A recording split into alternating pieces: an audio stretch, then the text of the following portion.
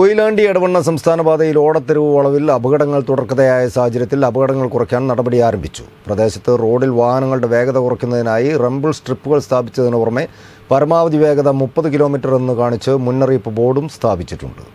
കൊയിലാണ്ടി എടവണ്ണ സംസ്ഥാന പാതയിൽ ഓടത്തെരുവ് വളവിൽ അപകടങ്ങൾ തുടർക്കഥയായ സാഹചര്യത്തിലാണ് അപകടങ്ങൾ കുറയ്ക്കാൻ നടപടി ആരംഭിച്ചത്. പ്രദേശത്ത് റോഡിൽ വാഹനങ്ങളുടെ വേഗത കുറയ്ക്കുന്നതിനായി റംബിൾ സ്ട്രിപ്പുകൾ സ്ഥാപിച്ചു.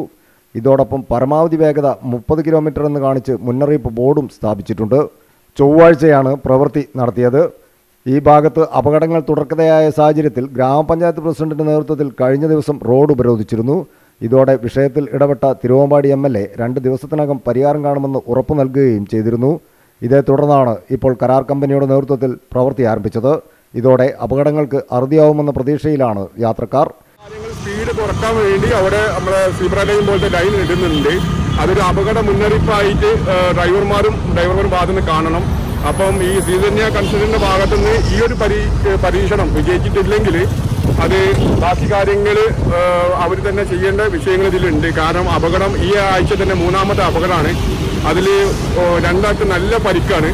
എന്ന് തന്നെ ആയാലും ഇത്തരം കാര്യങ്ങൾ. ഇപ്പോൾ ഇതൊരു ആശ്വാസം എന്ന് പറയാം. കാരണം ഡ്രൈവർമാർ കുറേ സ്പീഡ് കുറക്കുമെന്ന് നമുക്ക് വിശ്വസിക്കാം. ഡ്രൈവർമാരുടെ ഭാഗത്തു നിന്നും അത്തരം കാര്യങ്ങൾ വേണം.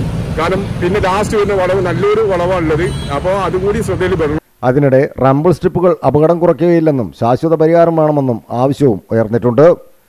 News bureau Mukkam.